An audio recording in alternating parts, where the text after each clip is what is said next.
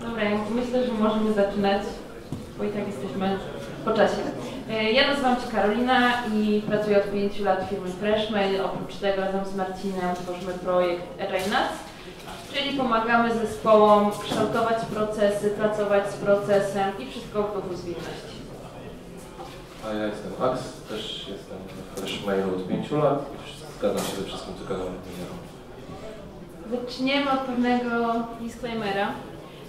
Odkąd e, zaczęliśmy się skupiać na zwinności, na agile'u, na rozmowach z deweloperami, bo dużo z nimi rozmawiamy, dużo z nimi rozmawiamy na różnych konferencjach, różnych meetupach, e, odpowiadamy na pytania w social mediach, zadajemy pytania w social mediach, mamy takie poczucie trochę schizofrenii. To znaczy to, co mówią zarządy, to, co mówią menadżerowie, zupełnie nie pokrywa się z tym, co mówi szary pracownik. Okazuje się, że firmy pokazują świetne idee, świetnie opowiadają o kulturze swojej organizacji, a potem przy styczności z członkiem zespołu okazuje się, że w rzeczywistości wygląda to zupełnie inaczej. Pewnie wielu z Was, wiele z- Was e, słyszało o turkusowych organizacjach. I te turkusowe organizacje pięknie się wykładają w momencie, kiedy ja z tymi osobami rozmawiam na rozmowie rekrutacyjnej. I się okazuje, że ostatnio to w sumie szef tej osoby powiedział, że jak nie zrobi czegoś, to nie dostanie wypłaty. I w tym momencie ten turkus w tych organizacjach się kończy. W 2001 Agile był bardzo prosty.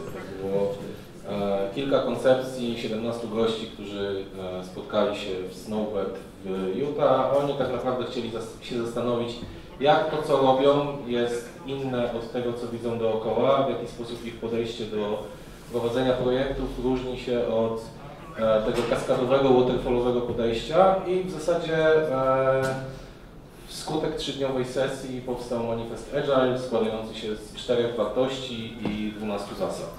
18 lat później jesteśmy w miejscu, w którym każda organizacja w tym momencie chce robić Agile'a, każda organizacja próbuje wdrażać model Spotify'a albo wymyślać jakieś swoje rozwiązanie.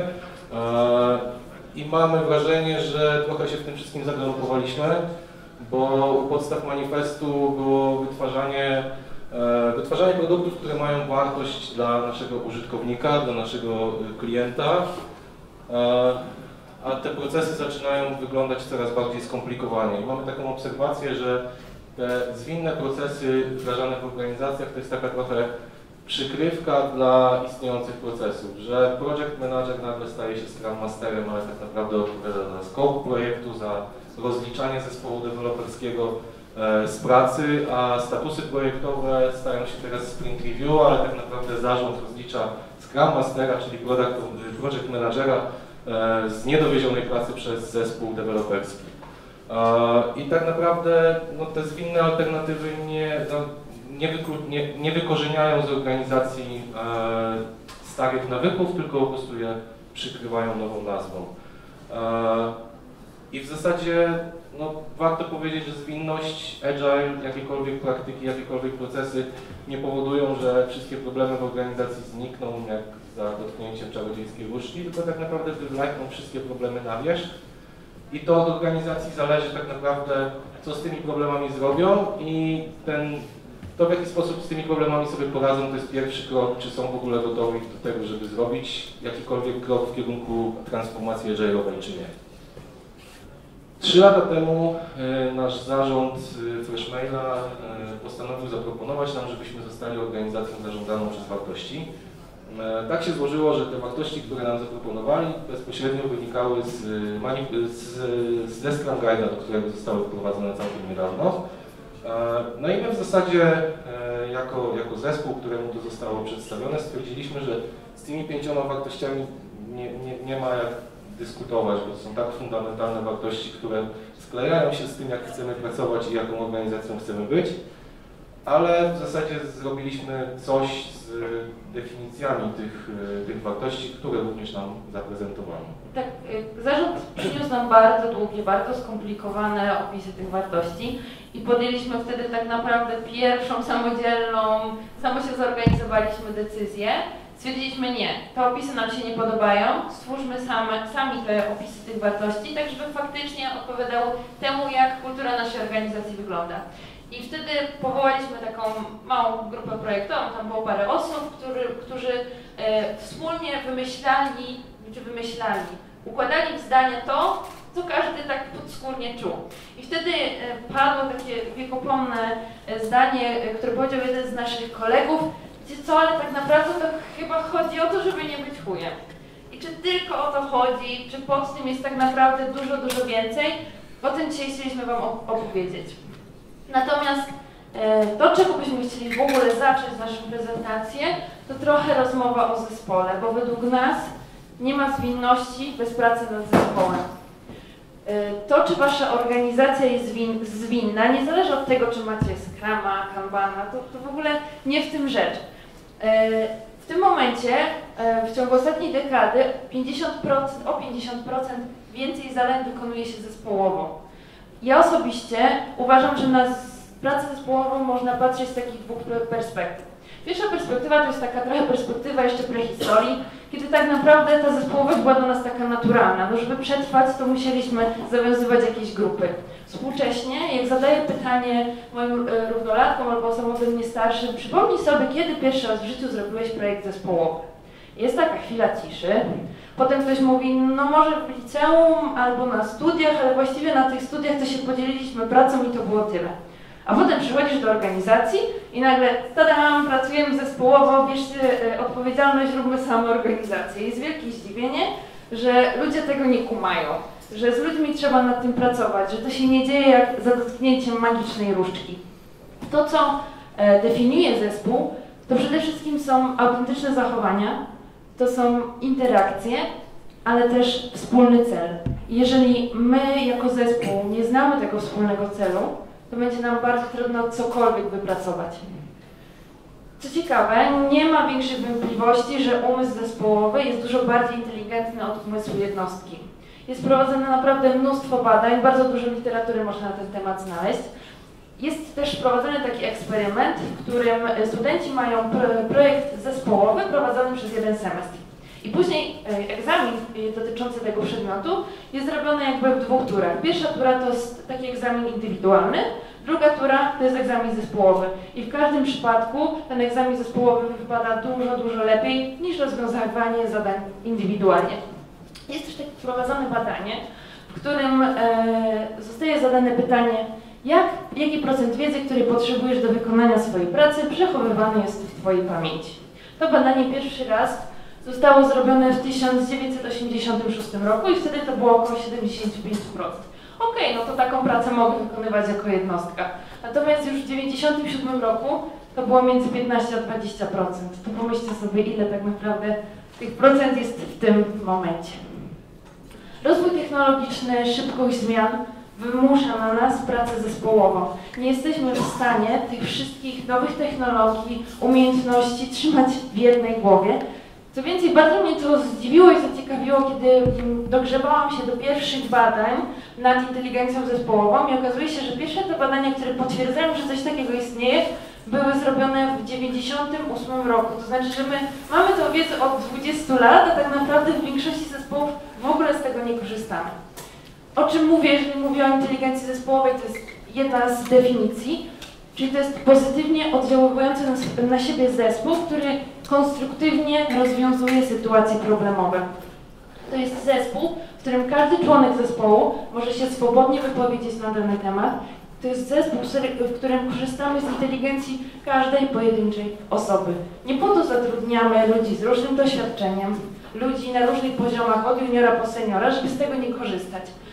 Mamy świetny przykład w organizacji, kiedy to junior deweloperka zrobiła naszemu zarządowi kartkówkę, bo wyczuła, że jedna rzecz jest liczona przez każdą osobę w różny sposób. I nagle się okazało, że kilka pytań zadanych przez tą dziewczynę rozwiązało problem dużo, dużo szybciej niż x senior deweloperów, którzy myśleli nad tym problemem. Dlatego, że to było coś dla nich świeżego, po prostu nowy temat do odgadnięcia.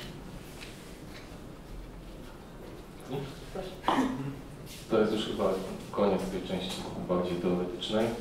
E, Agile jest super, bo nikt nas nie rozlicza, ale w zasadzie, czy ja słychać mnie dobrze? Mam wrażenie, że super, dzięki.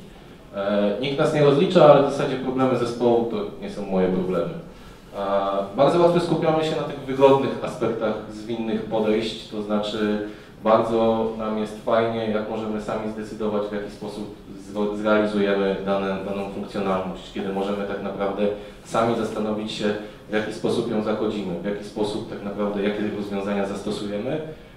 Bardzo fajnie się sprawdza, jak jesteśmy w, sam, w stanie sami zdecydować tak naprawdę, jak bardzo jest to złożony, złożony projekt i mniej więcej ile czasu poświęcimy na jego realizację. Ale często spotykam się z takim podejściem, że w zasadzie widzę pewne problemy w organizacji, widzę pewne dysfunkcje dookoła, ale w zasadzie to nie moja rola, żeby się tym zająć. To znaczy, nawet jeżeli mam pewne propozycje rozwiązań, to w zasadzie są w organizacji ludzie, którzy zajmują się tymi zespołami, zajmują się zarządzaniem zespołami, zajmują się zarządzaniem ludźmi, więc na pewno, no, jakby skoro pobierają kasy za to, to niech sami to zauważą. I nawet jeśli, e, i po to w zasadzie zespołom skramowym wartości skramowe, żeby w takich sytuacjach z nich korzystać. Tam jest zaangażowanie, tam jest odwaga, tam jest skupienie. I tak naprawdę widząc pewne dysfunkcje, po to jest w ogóle samoorganizacja, żeby odpowiedzieć sobie na pytanie, kurczę, może zrobię coś z tymi rzeczami, które mnie bolą dookoła e, i zacznę je nazywać i zacznę proponować pewne rozwiązania i może te problemy zaczną się, e, coś się z nimi zacznie dziać.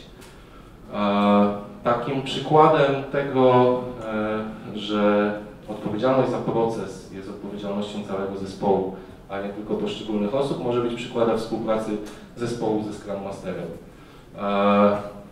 W teorii w Scrum Guide jest napisane, że Scrum Master jest osobą odpowiedzialną za usuwanie spod nóg zespołu deweloperskiego wszystkich przeszkód. I to jest prawda, ale przede wszystkim jego główną rolą jest bycie nauczycielem i bycie mentorem, żeby pomagać zespołowi w dążeniu do samoorganizacji. Pomagać w tym, żeby zespół na początku, nie widząc pewnych dysfunkcji, nie widząc pewnych przeszkód, zaczął je dostrzegać. E, żeby dawać im narzędzia do tego, żeby jak już dostrzegą te problemy, dostrzegą te dysfunkcje, to coś zacząć z nimi robić. I tak naprawdę rolą Scrum Mastera jest to, żeby wyposażyć zespół w komplet umiejętności, w komplet narzędzi i tak naprawdę doglądać, obserwować, co się z tym dalej dzieje. Przykład z mojego podwórka, e, wspomniany początek transformacji agile'owej. Ja miałem taki problem e, sam osobiście, że e, o ile współpracuję blisko z zespołami, e, zespołami IT, to widziałem bardzo dużo dysfunkcji w, w organizacji, e, dysfunkcji, które bezpośrednio wpływały na to, w jaki sposób e, rozwijamy nasz produkt, w jaki sposób ze sobą rozmawiamy, w jaki sposób planujemy naszą pracę. Ja przez dosyć długi czas wychodziłem z założenia bardzo hierarchicznego, no przecież te działy, te zespoły mają swoich headów, mają swoich szefów, więc chodziłem do tych szefów, do tych headów i o tych dysfunkcjach opowiadałem. No i w zasadzie ci ludzie, którzy być może nie do końca wiedzieli, czym ta zwinność jest, y, nie wiedzieli, jak sobie z tym poradzić, więc nic się z tymi dysfunkcjami nie działo.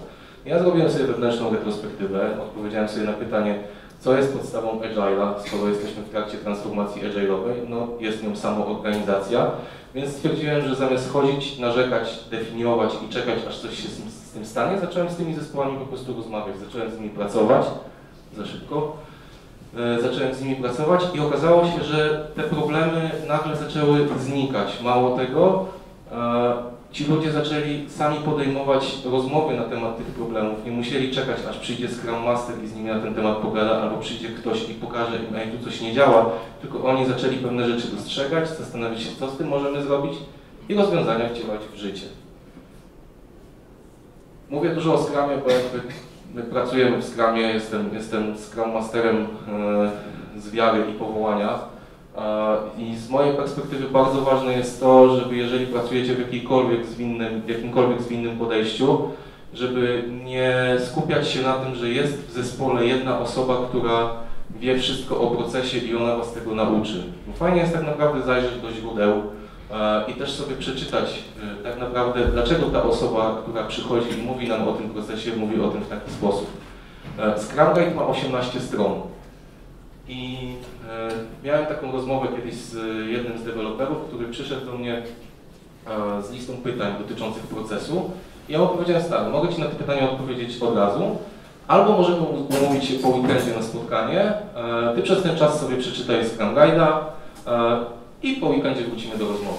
No i on wrócił po weekendzie podekscytowany, z wydrukowanym Scrum Guide'em, zakreślonym całym, e, całymi fragmentami. Oczywiście znalazł odpowiedzi na, na swoje pytania, ale przed miliardem innych pytań i miał tak naprawdę dwie refleksje. Jedna refleksja była taka, że, że, jak, że on czytał tego Scrum jak zaczynaliśmy naszą transformację.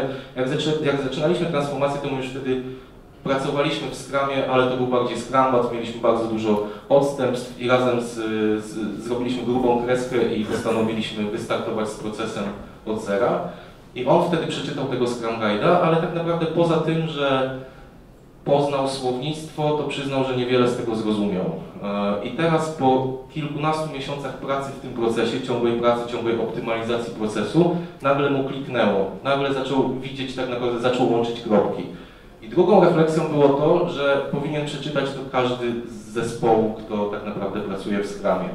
No i mogliśmy to zrobić tak, że wydrukować tego Scrum Guide'a, położyć na biurkach i liczyć, że coś się z tym stanie. Nie do końca wierzyłem, że cokolwiek się z tym stanie. E, albo zacząłem korzystać, ponieważ Freshmail robi system do e-mail marketingu, to zacząłem robić wewnętrzne e, kampanie do naszego zespołu IT z fragmentami Scrum Guide'a o nazwie Biblia na dziś. E, i zespół na początku myślał, że to są losowe fragmenty Scrum Guide'a, a ja tak naprawdę przez cały sprint słuchałem sobie różnych dyskusji w różnych zespołach i wybierałem najbardziej adekwatny fragment, który tak naprawdę w tym, może, w tym momencie może się skleić. I fajnie było potem patrzeć, jak ludzie zaczynają na ten temat rozmawiać. Mało tego, e, faktycznie zaczęli przychodzić z wydrukowanymi Scrum Guide'ami na retrospektywy i mówić, ej kurde, nam coś tutaj nie klika w procesie, może coś z tym zrobimy. Strasznie się zapowietrza. E, młodzi, gniewni e, Scrum Masterzy, którzy przychodzą do organizacji. Generalnie organizacja podejmuje decyzję, e, zróbmy transformację, zacznijmy robić Agile'a, wdróżmy Scruma, to zazwyczaj odbywa się to tak, że project manager, manager ktokolwiek z zespołu jest wysyłany na e, dwudniowe certyfikacyjne szkolenie, na którym posiada całą wiedzę na temat Scrum Guide'a, jak y, jest pilnym uczniem, to od razu po kursie podejdzie do egzaminu certyfikacyjnego i dołączy do wąskiego grona ćwierć miliona Scrum Masterów na całym świecie. E, no i wjeżdża taki człowiek na rumaku do organizacji i nagle zaczyna robić sprinty, daily scrumy, backlogi, retrospektywy, refinementy i jeszcze całą masę innych pojęć, które tak naprawdę w tej organizacji wcześniej nie funkcjonowały. I w tym wszystkim brakuje tak naprawdę zastanowienia się dlaczego. W ogóle ja bym bardzo chciał, żeby w każdej organizacji, w której, która pracuje waterfallowo, nie pracuje w sposób zwinny, moment, w którym ktoś wstaje i mówi ej, zróbmy agile'a, to żeby znalazła się choć jedna osoba i zadała pytanie dlaczego. Jaką nam to przyniesie wartość? Co my chcemy zmienić? I tak naprawdę może jeszcze pytanie pomocnicze, do czego chcemy dążyć i jak zmierzymy to, czy my w ogóle cokolwiek zmieniamy. W jaki sposób zweryfikujemy, czy zrobiliśmy jakikolwiek krok do przodu. No mamy wrażenie, rozmawiając z różnymi ludźmi, że się to jednak nie dzieje. E, takim przykładem zachłyśnięcia się skramem e, bardzo często mogą być e, retrospektywy. Wyobraźcie sobie zespół, który jest mega sfrustrowany na proces, na to, że coś im nie funkcjonuje, I wchodzi Scrum Master na retrospektywę z bukietem kwiatów i mówi rozdajcie sobie kwiaty i podziękujcie sobie za ostatni sprint. Albo narysujcie mapę skarbów. I takie rzeczy się dzieją. Nie wiem, czy ktoś z Was uczestniczył w takim retro, ja... Czyli jednak to się zdarza. Rysowanie wyspy i pogody. E, rysowanie wyspy i pogody bierze się stąd, że jest takie znienawidzone przeze mnie narzędzie, które nazywa się retromat i Retromat jest y, mega fascynującym i mega inspirującym zbiorem podpowiedzi, w jaki sposób robić retrospektywy, w jaki sposób robić energizery na, e, na różnych spotkaniach, tylko warto jest zadać sobie pytanie, po co my w ogóle to chcemy wprowadzić, jaki problem chcemy rozwiązać, wprowadzając to narzędzie, co ono ma spowodować w zespole, że my tak naprawdę z tego skorzystamy. I często jest tak, można sobie zadać pytanie, dlaczego Scrum Masterzy czy ludzie w zespołach korzystają z takich narzędzi. Czasami to jest po prostu ślepe kopiowanie narzędzi z, internetu jeden do jednego, przeczytałem to, skorzystam, może siądzie. A czasami gorzka prawda jest taka, że Scrum Master przychodzi z pewnym planem i nie siada, bo zespół przychodzi nieprzygotowany. Zadajcie sobie pytanie, kiedy przypominacie sobie o retrospektywie? Myślicie o niej przez cały sprint, zbieracie rzeczy, które Wam nie działają i rozmawiacie o tym z zespołem na retro, czy tak naprawdę przychodzicie, bo jest to w kalendarzu i w zasadzie wyskoczyło Wam 10 minut przed retrospektywą event za chwilę w konferencyjnej, musimy się spotkać. No tak naprawdę odpowiedzialność za usprawnianie procesu, za inspekcję i adaptację jest w całym zespole. To nie jest rola jednego człowieka, to jest rola całego zespołu, bo to zespół, zespołowi zależy na tym, żeby robić jak najlepsze rozwiązania. Dobra, pojeździłem trochę po początkujących Scrum Masterach, to dostanie się też bardziej zaawansowanym e, Agile Coachom i Scrum Masterom. Bardzo często jest tak, że mówimy o bardzo okrągłych, pięknych ideach, które są idealistyczne, e, które zostały gdzieś kiedyś napisane i w ogóle powinniśmy dążyć do idealnych retrospektyw, idealnego product ownera, idealnych relacji ze, ze stakeholderami. I w tym wszystkim zapominamy o perspektywie tu i teraz, o tym, że ludzie przychodzący na retrospektywę nie chcą słuchać o tym, że w Scrum Guide to jest napisane tak czy inaczej, tylko chcą pogadać o tym, że nie mogą się dogadać z ziomkiem czy biurku obok, albo że nie przewidzieliśmy jakichś zależności między projektami i kurde, może faktycznie pogadajmy o tym, co nas boli, a nie szukajmy jakiegoś idealnego rozwiązania w procesie.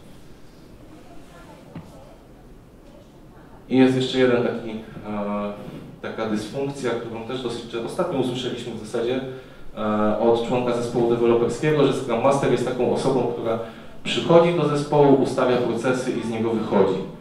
E, no to jest trochę odwrócenie tego, o czym mówiłem wcześniej, że Scrum Master dąży do tego, żeby stać się niewidzialnym, żeby dać zespołowi narzędzia, wiedzę, umiejętności, odwagę do tego, żeby samemu nazywać te dysfunkcje, które są dookoła nich, żeby brać odpowiedzialność za ich rozwiązywanie, ale my jesteśmy w, w takim nurcie, gdzie uważamy, że Scrum Master no, po to jest członkiem zespołu Scrumowego, żeby przy tym zespole był, bo ludzie tak naprawdę przychodzą z różnym nastawieniem do pracy, w ogóle zespoły czasami się formułują na krótkie projekty, jedne się rozwiązują, następne się zawiązują, jest różna dynamika w grupie.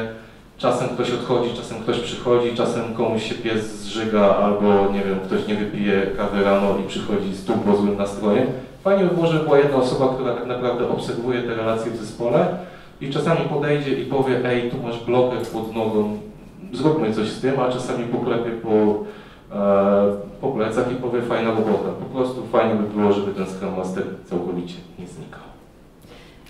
I można się zastanowić, to po co nam w tym wszystkim umiejętności miękkie. Y, sama się przyznaję, że jestem taką osobą, która bardzo często zadaje pytania znajomym, jak wygląda u Was proces, y, co Wam się sprawdza, co wam się, co wam się nie sprawdza. I w wielu rozmowach słyszę, generalnie atmosfera jest ok, benefity są super, ale jak pytam o cele kwartalne, wskaźniki, w ogóle po co robimy ten projekt, to jest głucha cisza. I na dłuższą metę każdy pracownik, nie wiedząc tych rzeczy, będzie po prostu sfrustrowany, bo nie będzie widział celu w tym, co robi na co dzień. Umówmy się, e, my nie jesteśmy w pracy po to, żeby być na liście zatrudnionych osób. My jesteśmy tam po to, żeby spełniać pewne cele biznesowe, żeby do nich dążyć. Więc nie znając celu, po co coś robimy, to się zupełnie kłóci.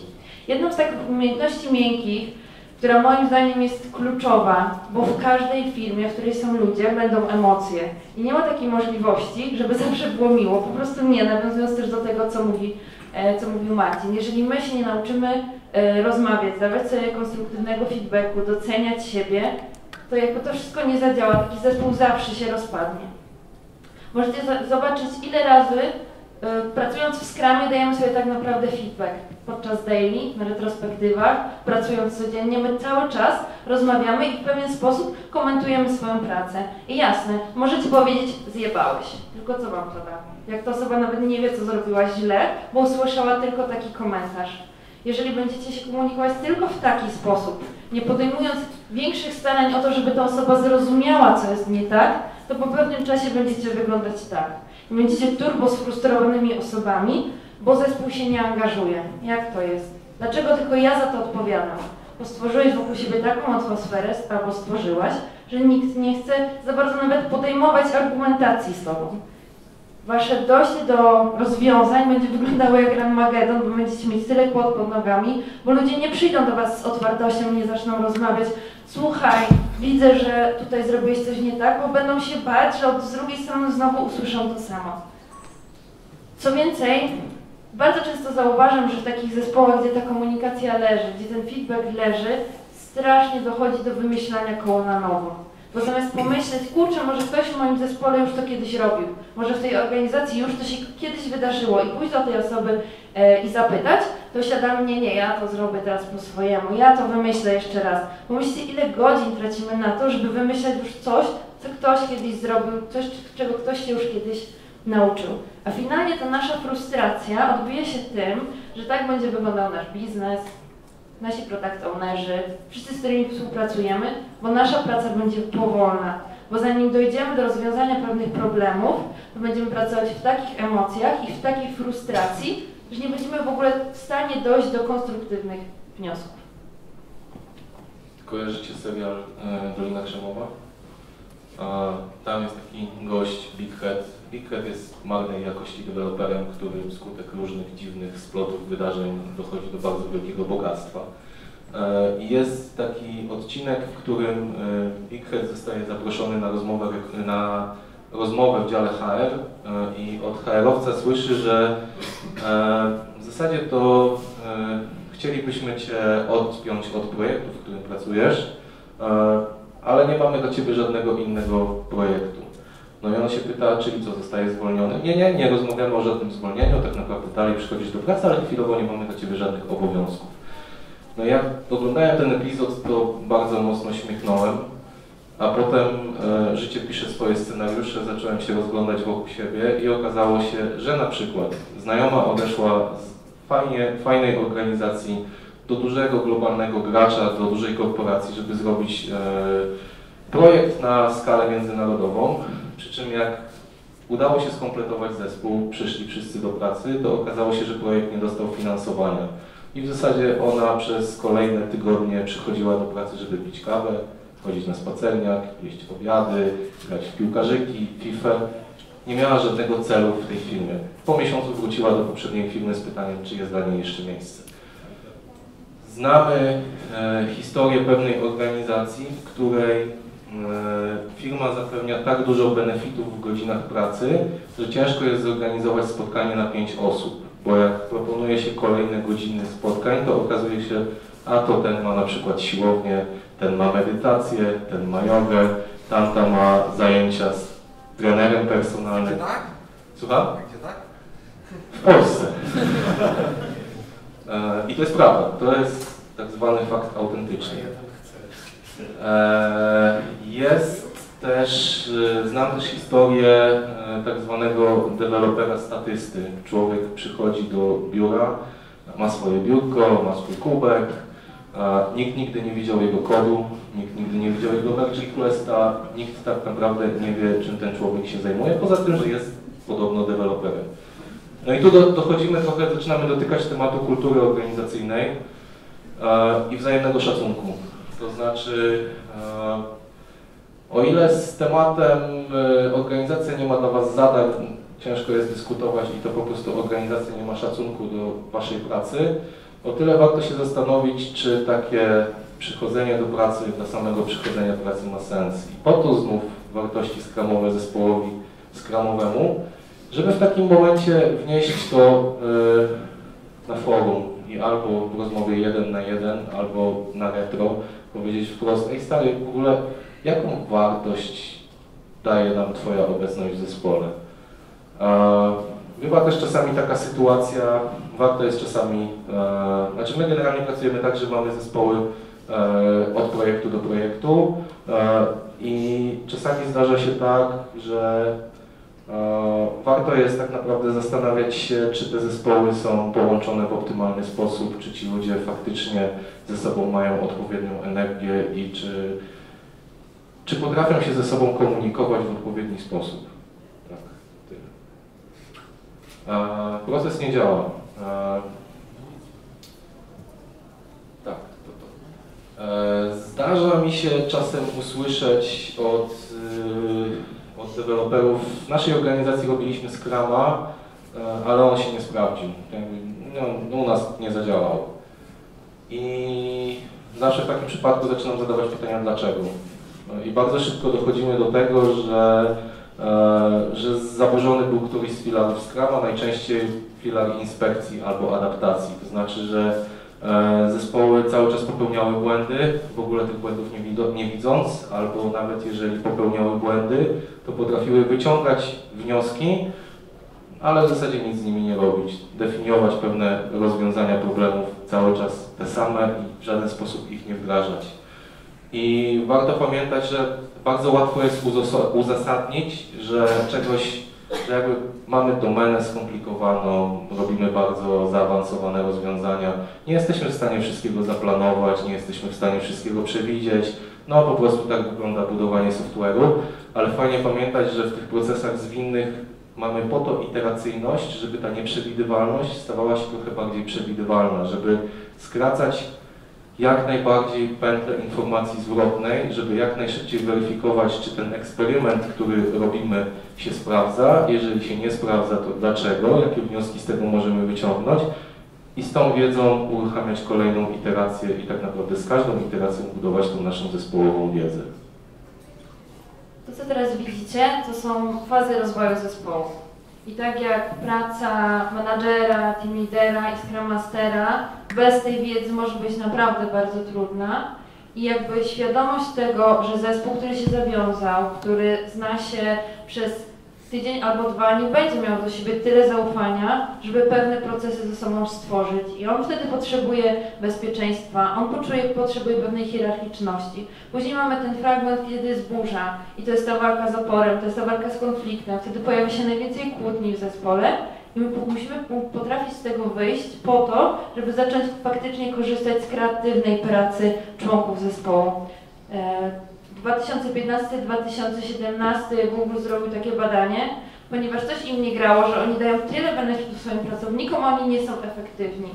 I jedną y, z pierwszych rzeczy, która im wyszła w tym badaniu, tam było przebadane ponad 200 zespołów, było to, że jeżeli dana osoba nie ma takiego psychologicznego spokoju, że pracuje z właściwymi ludźmi, to generalnie można jej było dać nie wiadomo jakie benefity, ona i tak efektywnie nie była w stanie wykonywać swojej pracy. Jest też kilka e, tekstów e, w internecie, które mówią o tym, że fazy rozwoju zespołu nie istnieją, w ogóle nie ma czegoś takiego. Jak się w te teksty zagłębić, to wychodzi na to, że właściwie te osoby sobie po prostu to inaczej nazywają, jak próbują udowodnić no to samo, czemu zaprzeczają. E, I w trakcie jednego właśnie czytania takich tekstów e, tam autor miał wątpliwość, czy istnieje faza burzy, bo może to jest po prostu zwykła płótnia i dlaczego w ogóle mówimy o jakiejś fazie burzy. E, I że może, w ogóle, po, po co jakby się chcemy wbijać w ten konflikt, niech te osoby sobie to między sobą wytłumaczą i tyle. I był świetny komentarz do tego wpisu, e, ponieważ jedna osoba wpisała, że jeżeli ty jako osoba pracująca z zespołem, widząc w piątek konflikt, a w, so, e, w poniedziałek już tego konfliktu nie widzisz, to najpewniej w sobotę ci ludzie poszli na piwo i zdążyli cię cztery razy obgadać, bo konflikty nie, nie znikają za dotknięciem magicznej różdżki. Jeżeli coś nas frustruje, jeżeli jakaś praca powoduje bardzo dużą trudność, bo nie potrafimy się ze sobą komunikować, to ta frustracja będzie tylko rosła, rosła, rosła i ta osoba może nie odejdzie z zespołu po dwóch tygodniach. Ale zobaczycie, że jeżeli z taką osobą rozmawia się na e, exit interview, to pierwsza z rzeczy, jaką ona poda, to było to, że e, pół roku temu to on się tak pokłócił z jednym deweloperem, że po prostu ta frustracja dalej mu towarzyszyła przez kolejne pół roku. Jeżeli chcemy mówić o zwinnych organizacjach, to pierwsze, z czym powinniśmy sobie dawać radę, próbować dawać radę, to złamanie hierarchiczności. Jeżeli deweloper chce znać cel, dlaczego coś robi, to zacznie zadawać pytania. Zacznie zadawać dużo pytań. I wtedy my, jako menadżerowie, Scrum Masterzy, Product Ownerzy, zarząd, musimy być otwarci na to, żeby na te pytania zacząć odpowiadać.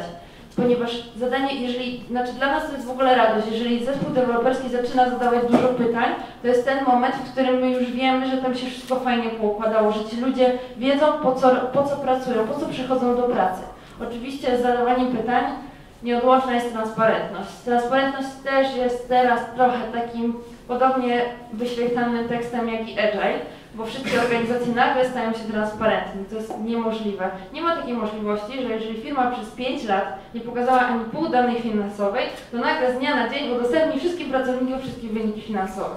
Po pierwsze, pewnie by to było stratą dla firmy, bo jako, my jako ludzie nie wszyscy potrafimy przecież czytać te dokumenty, więc zobaczymy jedną cyfrę i możemy wyciągnąć totalnie błędne z tego wnioski.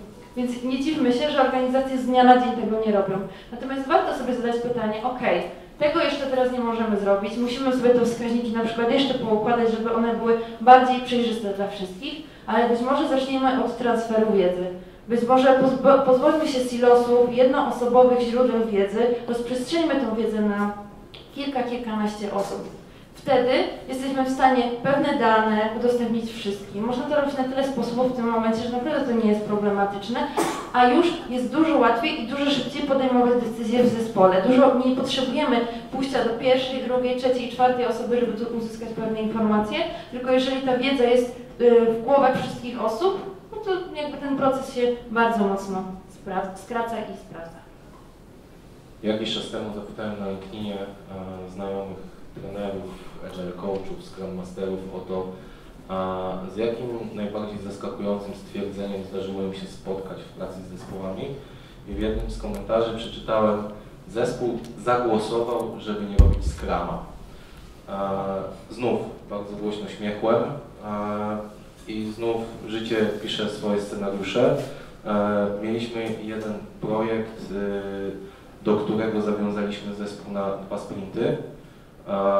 To był taki quick win, który chcieliśmy szybko stworzyć, jakby, no tak, zawiąza zawiązaliśmy zespół na dwa sprinty i na koniec pierwszego sprintu dostałem wiadomość, że zespół na Slacku zagłosował jednomyślnie, żeby nie robić retro na koniec pierwszego sprintu, tylko żebyśmy zrobili go na koniec całego projektu. Świadomie lub nie chcieli się pozbawić przestrzeni do tego, żeby spojrzeć na procesy, na które się umówili, na to, czy wszystko, co chcieli, czy, czy, czy, cały proces, w jaki sposób chcieli pracować jest dla nich optymalny. Oczywiście zrobiliśmy to retro, oczywiście okazało się, że wcale nie jest optymalny, że mnóstwo informacji ginie i że w ogóle fajnie by było to poukładać na nowo, a na koniec na retrospektywie kończącej usłyszeliśmy, że w sumie fajnie, że to retro było, bo pewnie byśmy tego projektu dwa sprinty jednak nie zrealizowali. I w tym wszystkim fajnie jest pamiętać, że Agile jakakolwiek, jakiekolwiek zwinne podejście jest o tyle spoko, że ono daje swobodę wypowiedzi każdemu członkowi w zespole, ale decyzje podejmujemy bazując na tym, co dostarczy nam największą wartość naszej organizacji, naszym użytkownikom, naszym klientom, a nie na zasadzie prawa głosu i wyboru tego, co zbierze najwięcej głosów. Tak, natomiast mówiąc jeszcze o odpowiedzialności, bardzo często jest tak, że to my sami jako osoba, która jest opiekunem zespołu, blokujemy im branie tej odpowiedzialności. Zamiast zadać pytanie, a co byś z tym zrobił, a jak byś rozwiązał ten problem, a może sam poszukasz rozwiązania, dajemy szybkie odpowiedzi, bo w tym momencie nam jest tak wygodnie tylko w długomiesięcznej, tygodniowej perspektywie nagle się okaże, że taka osoba nie może iść na urlop, bo generalnie nikt nie jest w stanie, no, co robi zespół? No przecież jak pójdę do niego i mi odpowie, to po co ja mam tego szukać? Uczymy tego jako Scrum Masterzy, team liderzy zespołu, że jesteśmy jedynym źródłem informacji. To wtedy to jest oczywiste, że te osoby nie będą ich szukać gdzie indziej. I dla mnie takim sprawdzianem tego, czy ten team leader, osoba pracująca z zespołem jest już na tym etapie rozwoju zespołu, że może ich zostawić, może pojechać na dwa tygodnie i nic się nie wydarzy, jest to, że pozwala robić ludziom rzeczy na swój sposób. Może on nie będzie super idealny i nie będzie taki, jak ja sobie to wymyśliłem, ale będzie.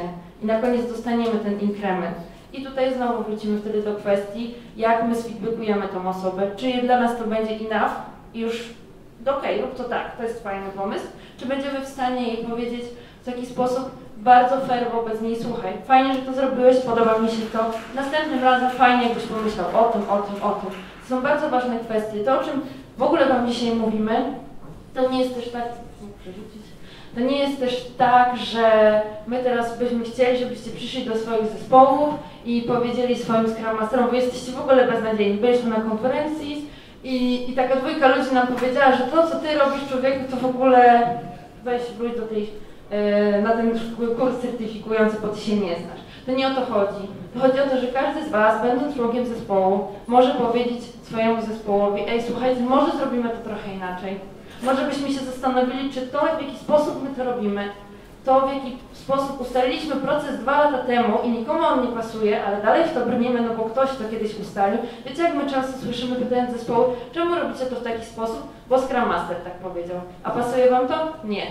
To czemu tak pracujecie? A to możemy inaczej? No halo, po to jest Scrum, po to jest zwinny, żebyście właśnie mogli inaczej, żebyście przyszli i powiedzieli, słuchajcie, myślimy, że jak zmienimy to trochę, chociaż trochę, chociażby, nie wiem, tablicę skramową, rozpiszemy to w inny sposób, bardziej adekwatny do tego, co teraz robimy, to będzie nam po prostu wygodniej, szybciej, lepiej, będzie to dla nas dużo bardziej optymalne. I to wszystko spina nam się w, w takie hasło, które w ramach Agile nas chcemy promować. To collaborate and listen to jest dla nas taka kwintesencja całej zwinności. Tak naprawdę chodzi w tym wszystkim o to, żeby słuchać wzajemnie siebie, być nastawionym na informację zwrotną, być nastawionym na dawanie feedbacku, wyciąganie wniosków z tego i po prostu być nastawionym na współpracę.